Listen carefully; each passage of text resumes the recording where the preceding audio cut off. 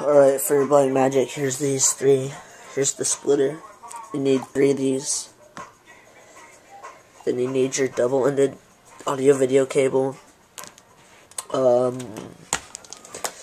your standard definition Xbox cables. And your dazzle. Okay, first, you're going to plug your splitters in. Gonna get a red or any colors. So let's start with yellow. The yellow in. Maybe you get your Xbox cable. Stick the yellow in here. Okay, now you got your two yellows. You want to do that with the rest of them. So, like, red. Let's the red ones.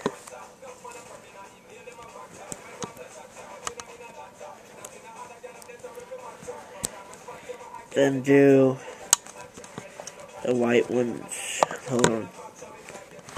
Okay, now the white ones.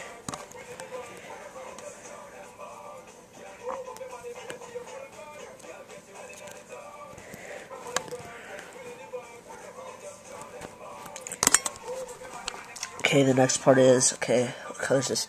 This is yellow. See how you have your yellow? What you should do is plug it into your dazzle color so you have yellow. For yellow, plug it in there, and you do it color coordinated. Everything is color coordinated. Then your red, right there.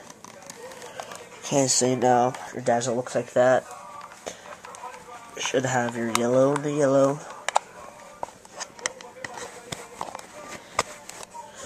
Uh, the red and the red, which is the middle one, and then, oops, and then the white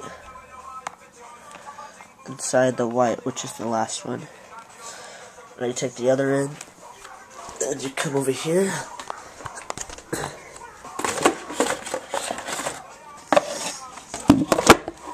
And you take these three and just plug them in color coordinated.